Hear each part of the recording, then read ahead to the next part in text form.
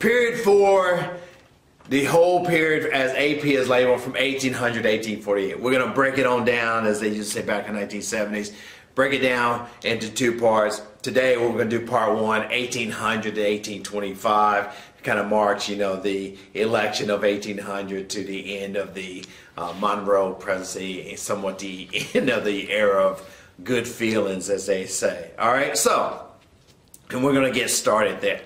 What you should know, all right, and these are the main three themes for the whole kind of you know, early 19th century American history. Man, this is just, I love history. It's just so, so amazing. Even world history this time, man, amazing, man.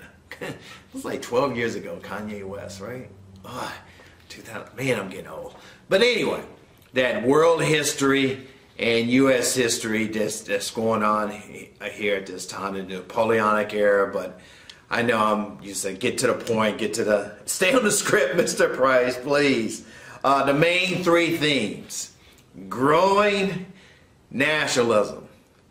And as a contradiction to this that's going on in parallel is growing sectionalism. As you see with the, you know, the slave states versus the northern states and somewhat the Midwest kind of being fought over by political and kind of economic control by the northern states and the southern states. And the last thing is growing uh, economy. So growing economy, growing sectionalism, growing nationalism. Three major things. Keep that in your head. Keep that in your head, please, like I say, before you get the devil in details. First, first of the All-Star elections. The Revolution of 1800, you know all that jazz. Jefferson versus Adams, peaceful transition from the you know the um, Federalist Party to the Republican Party, and, and that, you know what the Republican Party is at this time. And we don't need all the, you know, gee, I hate Lamb or the Jefferson President. We just get the major, major hits for the online exam. The ones that I expect you that you should know and say almost a given. It's a layup. It's a reverse jam behind the back there like that. So that you do know for sure. And that is, you know, the Marbury versus Madison case. And that's with the midnight judges. And I'm not going to really go the Supreme Court cases like a Fletcher versus Peck or anything of that nature, or McCulloch versus Maryland, Gibbons versus, but you should know John Marshall and the Marshall Court. You should know all my deal breaker Supreme Court cases, you know, the Scott versus Sanford Plessy, uh, Brown versus Board of Education, Korematsu versus the United States. So you, you I, am just not going to, because I'm saying I assume that you know though since the first grade almost and some details in there. So I'm not going to. But you should know John Marshall because he keeps the national government growing, developing, expanding. He is a loose interpreter of the Constitution. Yes, you can have that bank. Yes, you yes, Mr. Jefferson, you are definitely wrong about like, you know, not appointing, giving the commission to like Mr. Marbury. But you know, at least I'm going to do something and say, hey, we have the right to interpret the Constitution given this power of judicial review. I, I assume you kind of.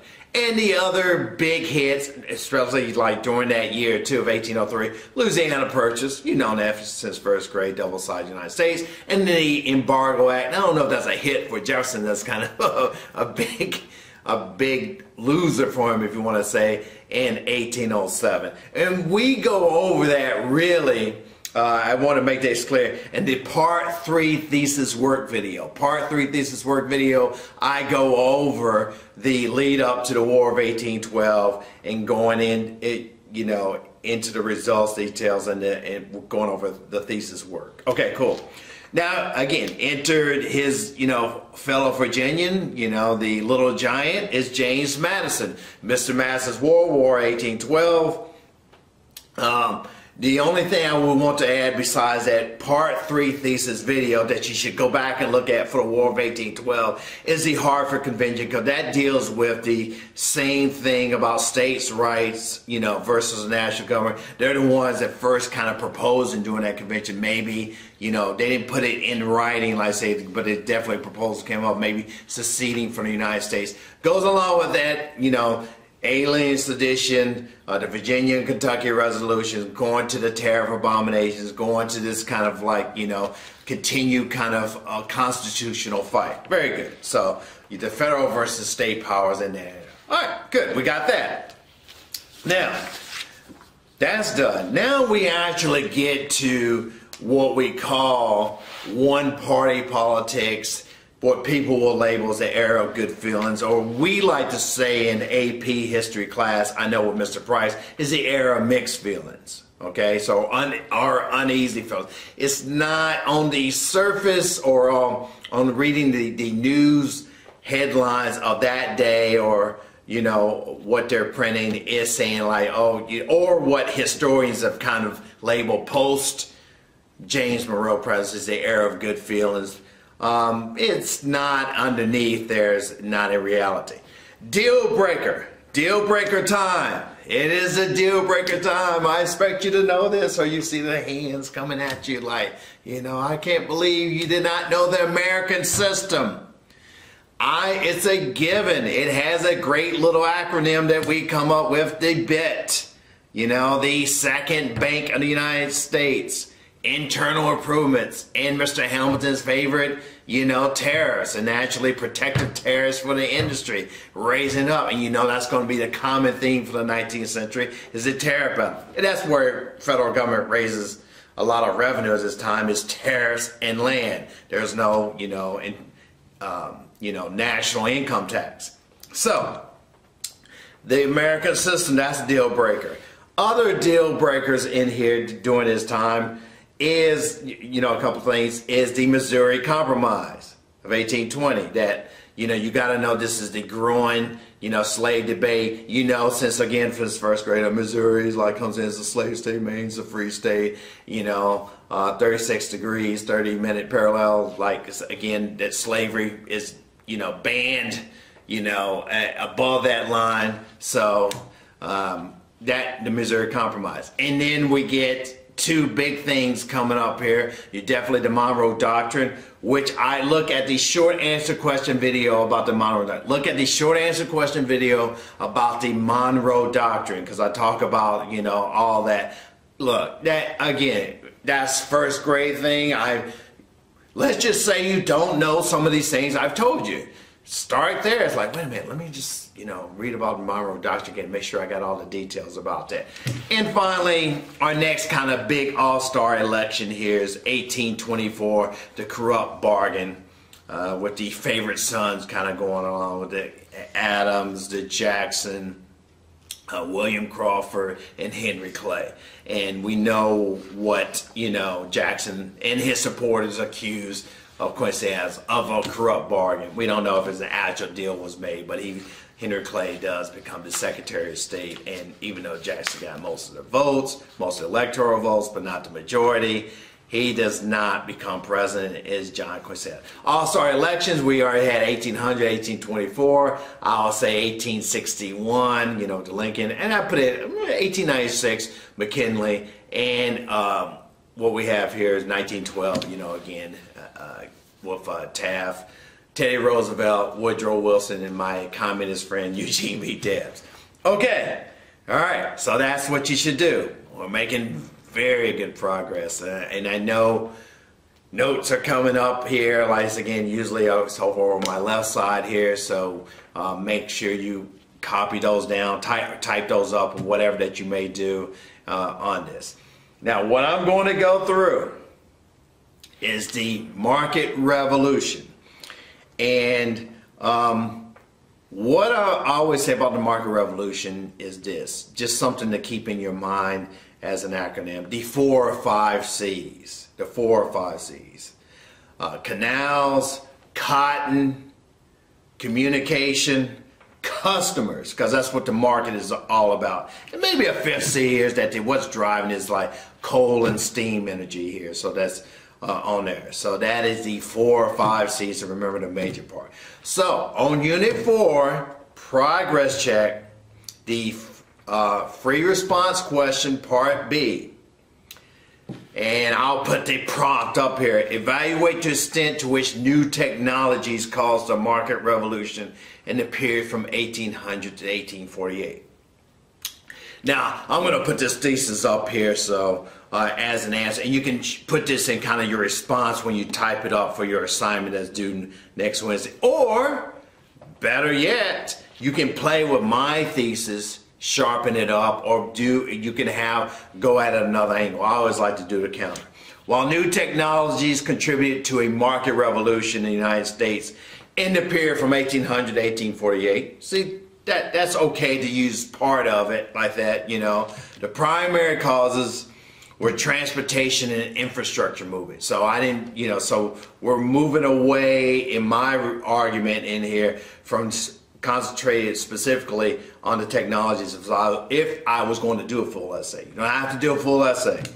The increasing number of Americans who work for wages, that's something that we kind of forget about, the kind of wage labor market now, and participated in the early capitalist economy, the growing capitalist economy, kind of like the small baby gilded age going on here, but it's mostly concentrated about uh, customers and and you know uh, people finally getting wages working for a certain time setting the stage for our big grown-up gilded age in the late 19th century.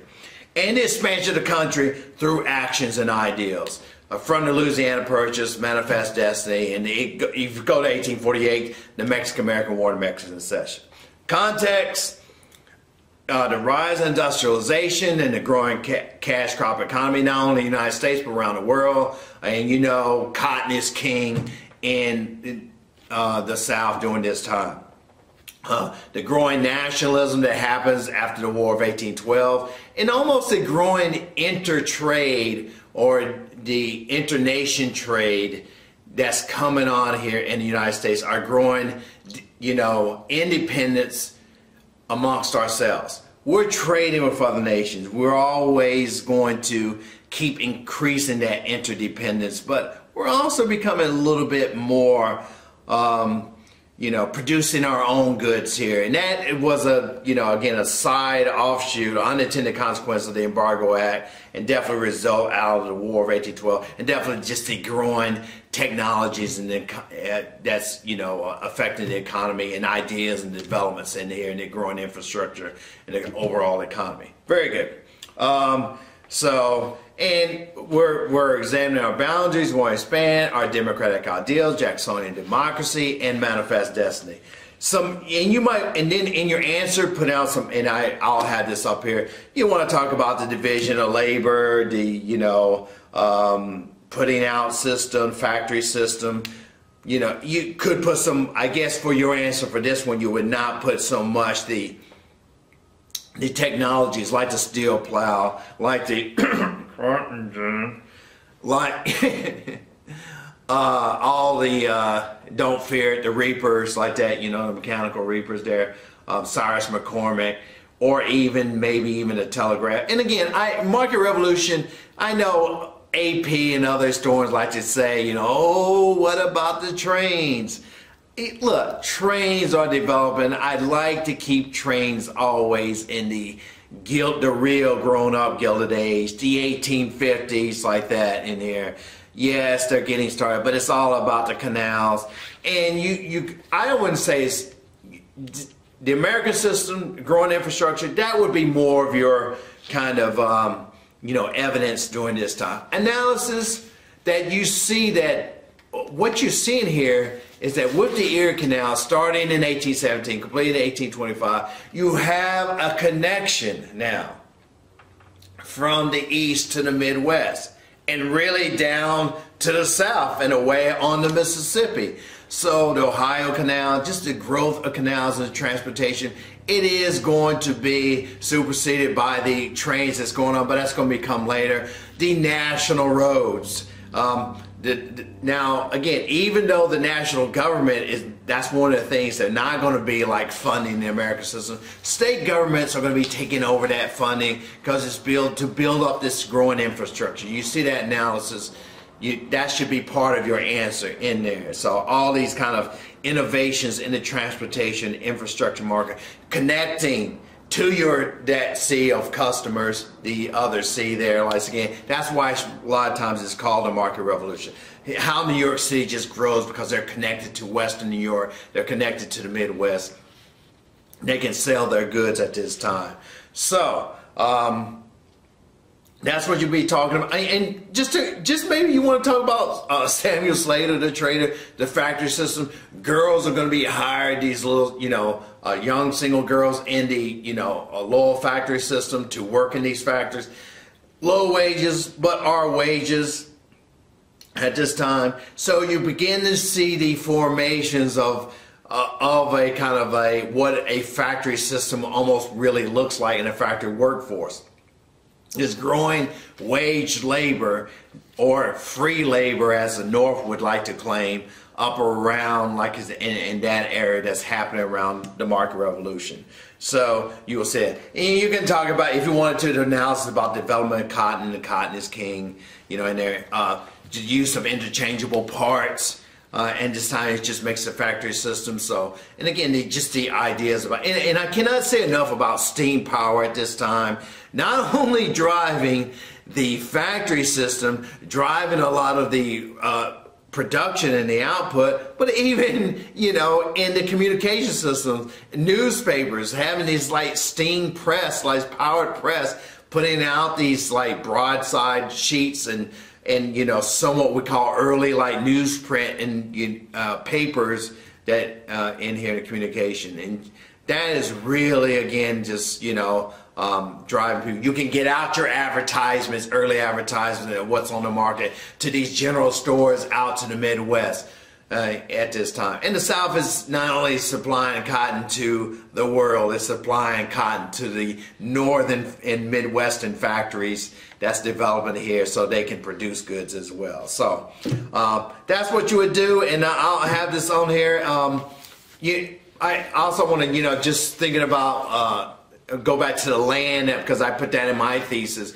So, you know, just I always want to like, you know, prove about that. Um, you could go from a Louisiana Purchase, the kind of the uh, Rush-Bagot Treaty, the Adams-Onis Treaty, Webster Ashburton. But the two big ones are the Louisiana Purchase and the Mexican Cession. You think about the $15 million for each one here, and it really kind of completes the United States and the Manifest Destiny ideas being developed in the 1840s here about that we should, you know, go from the Atlantic to Pacific. That's what the United States should reach. And that is definitely increasing this kind of, you know, new customer base, new kind of enrichment base here with land.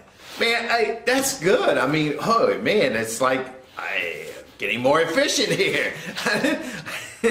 as long as I stay on top of it, start talking about other things, I was, you know, uh, like I usually do in class. So this will be um, annotated, and I hopefully you go through this. I hope to see a few of you tomorrow or hear from you tomorrow. I definitely will give you, quick as I see the updates, I'm going to disseminate that and kind of diffuse that and spread that amongst the STEM masses and the 11th graders about what the details and what to expect for so you'll have a more of a target and we'll have more of a target about what we should be practicing on here for the APUSH online test. We know one thing is 45 minutes. We know it's going to be free response. And I my caveat warning again i'm hoping that you're not thinking because it's you're at home you got some books out or whatever and stuff like that you're to get the prompt you're going to be able to look through those things. You only have 45 minutes. They're not dumb. They're going to make sure that you something that you to have a good answer a good you're going to have to really come more of on your own or you're not to be able to answer the question cite evidence and explain that evidence during that time about acing uh, the problem. Okay, all right, ask it enough because you know I can you know keep on going on and on and on and on and everything. So uh, love you all. See some of you tomorrow. So uh, yeah, so goodbye. Have a good Thursday.